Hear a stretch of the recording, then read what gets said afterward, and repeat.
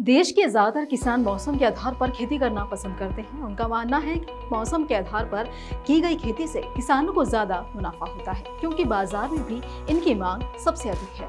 नमस्कार, मैं अश्विनी वानखड़े और स्वागत है आपका कृषि जागरण में। जैसे कि आप सभी जानते हैं कि मई महीना शुरू होने वाला है। जिसे हम वैशाख ज्येष्ठ भी कहते हैं। इसके अलावा इस महीने में ग्रीष्म ऋतु का भी आगमन होता है। आपको बता दें कि मई महीने में देश के किसान खरीफ की फ़सल बोने का उचित समय मानते हैं।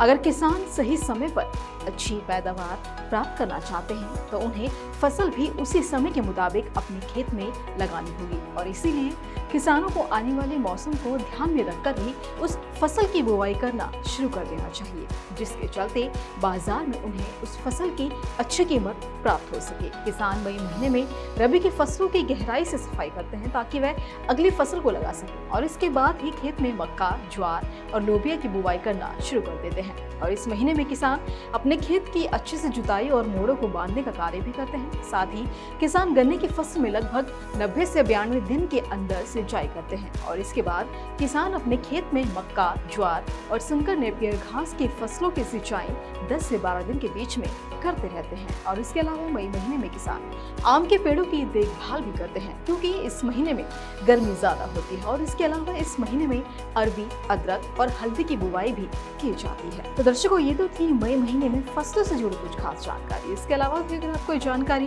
प्राप्त करना चाहते हैं तो नीचे दिए गए कॉमेंट सेक्शन में कॉमेंट कर ज़रूर बताएँ। फ़िलहाल के लिए हमें दीजिए इजाज़त और ऐसे ही अन्य जानकारियों के लिए जुड़े रहिए कृषि जागरण के साथ। धन्यवाद।